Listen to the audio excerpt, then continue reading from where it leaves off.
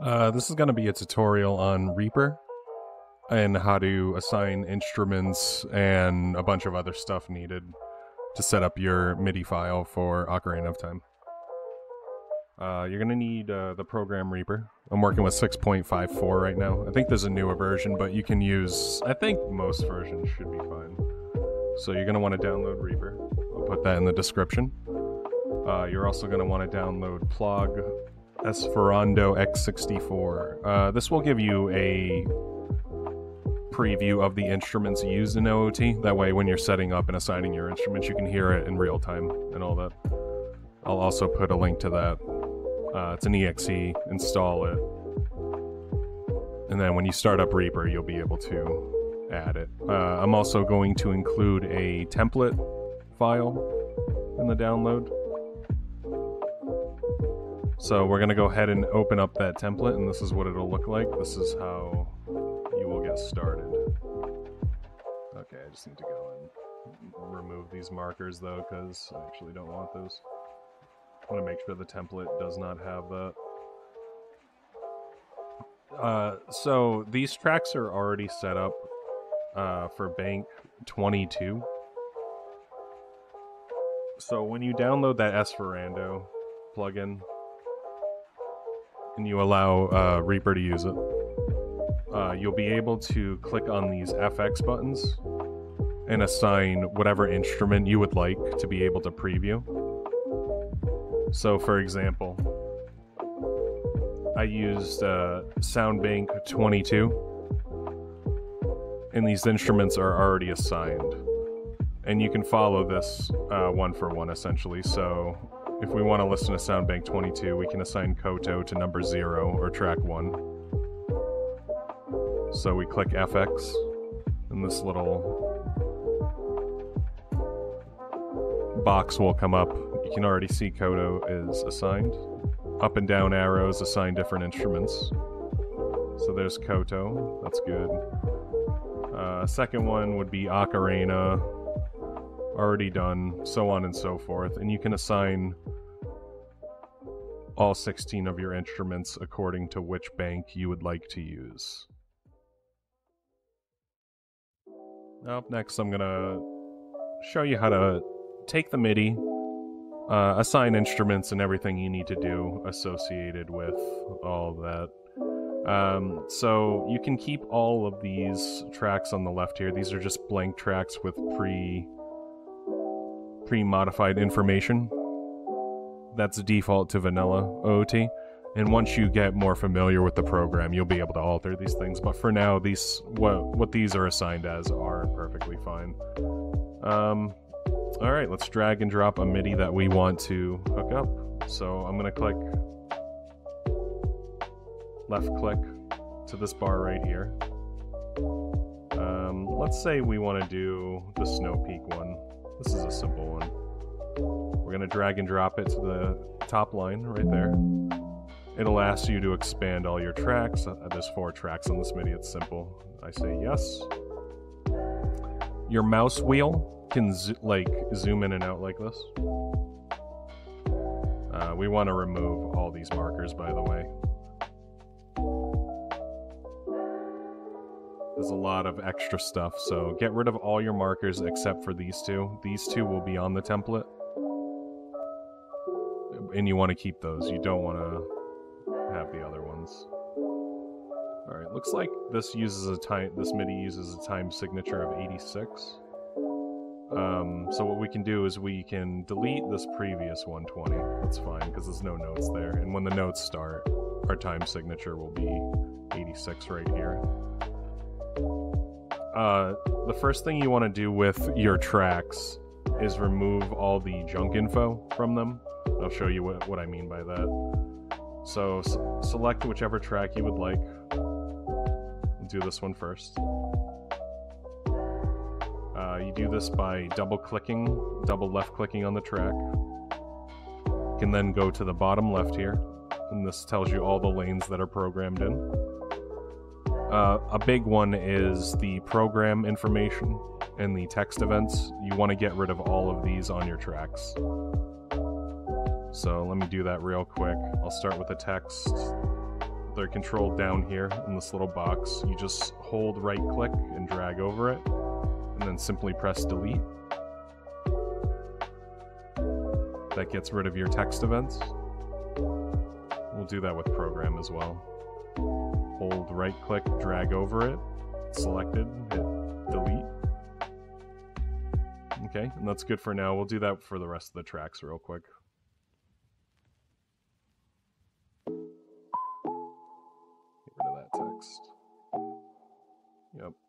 Good.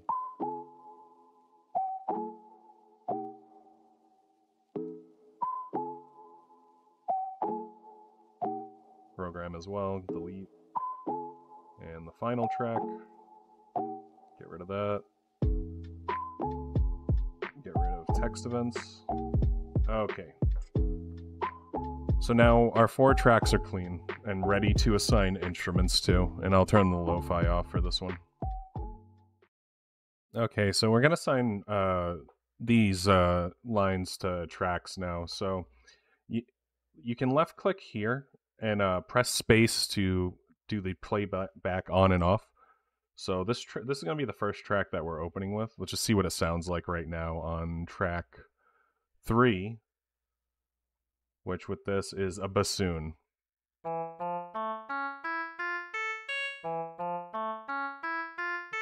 Okay, that sounds like a bassoon to me. Um, so we could do something like let's put that. Um, hmm. Let's put it on track the choir 04 okay so 0 1 2 3 4 5 so it'll be track 5 in here that one let's see what that sounds like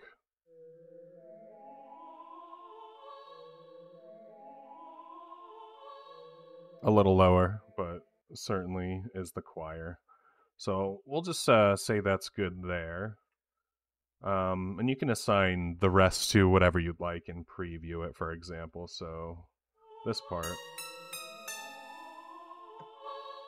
That's on the Koto. We'll just keep that there for now.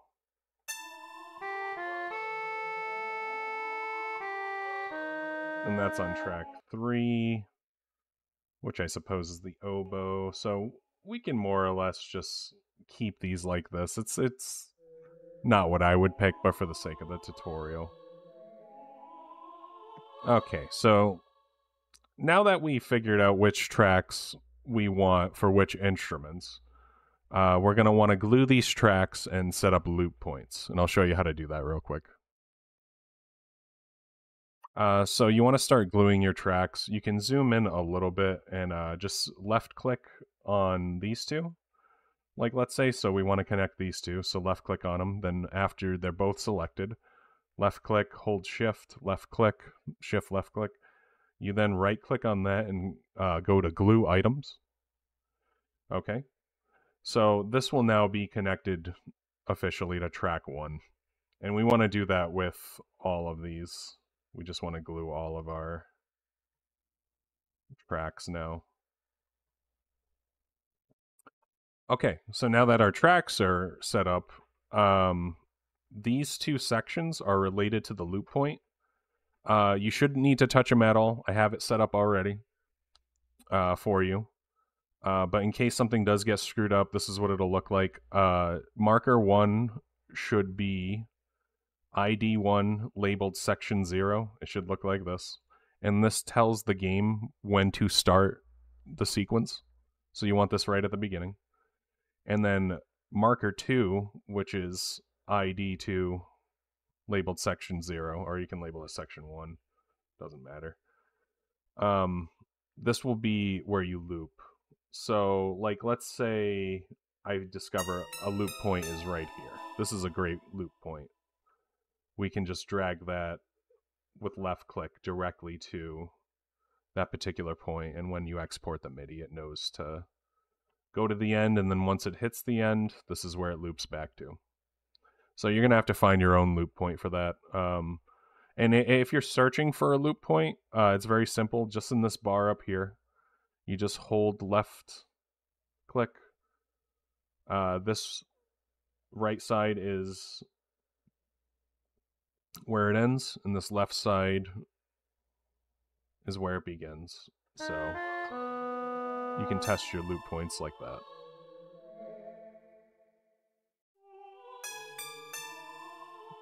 Like so. Uh, and if you need to clear this, you can just highlight over it, right click, um, set uh, remove selection. There it is. It's it's remove selection, the first option. But yeah, so I want my loop point right here. Um, my tracks are glued, all looking good. Now we need to set up our program changes, our volume, our panning, and all that other stuff, and I'll show you that real quick.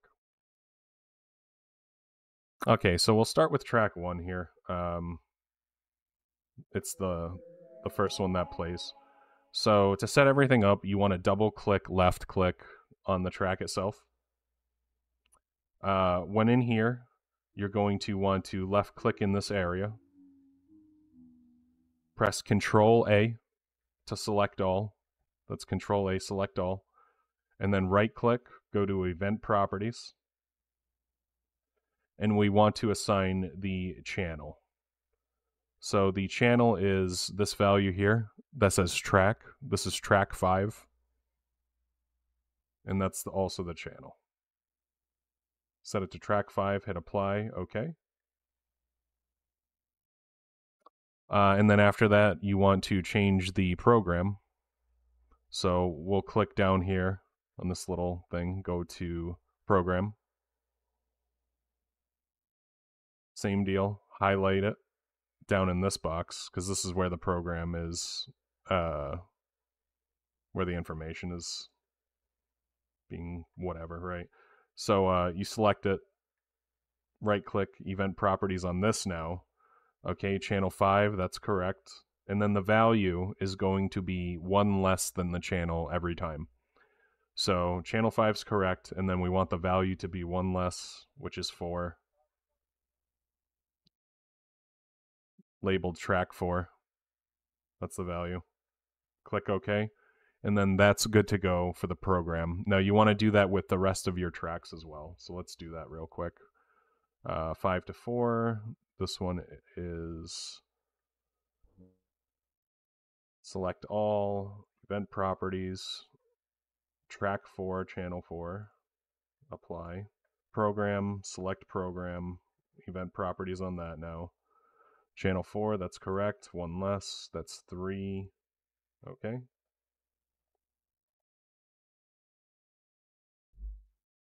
Select all with Control A. Event properties. Channel 2. Apply. Select the program once again. Event properties for program. Channel 2, correct. And then value 1. And then the last track, select all, control A, event properties, track 1, channel 1, program, highlight it with right click, event properties, channel 1, value 0. There it is. Apply, hit OK. All right. And now that that's all set up, we can do the finishing touches with volume, panning, effects, all that, and I will show you that in a second here. All right, so to set up the rest of this stuff, uh, once again, all these tracks are pre-programmed with like volume and stuff like that. Same deal, you go into the track by double-clicking left, uh, bottom left here, you can go into lanes with events. This is everything that's programmed. Uh, typically, you're going to want to touch just volume, pan position, and effects. Those are the three main ones. Uh, let's start with volume. So this will bring up, th this is a grid of basically the volume control. So uh, there is two of these, so the duplicate we can just get rid of um, if there's duplicates. So if you select this with left click and then just simply hit right click, it deletes it. And then if we hold left click, this is our volume. So this is uh, about half volume. Typically, a good volume with most MIDI tracks is about three quarters to a little less. So we can try that out right there. It's a decent volume control with this particular track here. And then we can set the pan, get rid of the duplicate once again with right click. Uh, I want this to be directly in the middle, so it would be directly in the middle. And then effect level is kind of like a reverb. Uh, this has very high reverb. I want a little bit less, so I'm going to put it a little less than half. That way it doesn't go a little too crazy on me.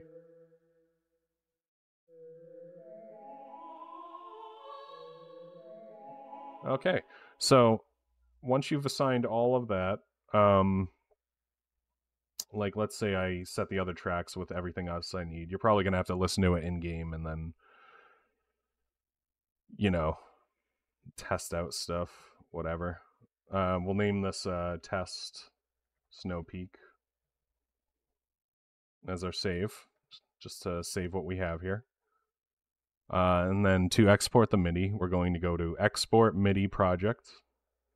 Set up with that whatever your pathing is. I have it just in my downloads folder. Uh, the default export should be good to go. And then you hit OK. It tells you OK. And then you can test your MIDI out in Z64 ROM or whatever else tool you're using. I'll show you in, right here what uh what we got. See if it worked.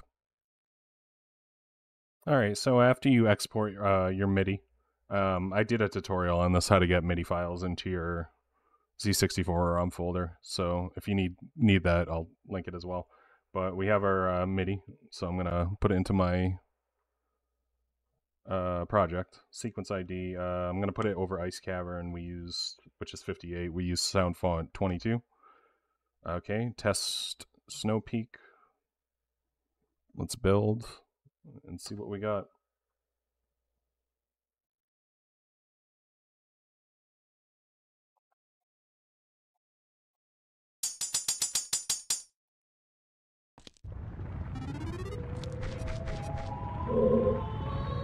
Yep, sounds right. So you would want to adjust the instruments, your panning, your volume. You can adjust your tracks and all that, but that is how you get Reaper MIDIs, assigned instruments, ready to use for Z64 ROM.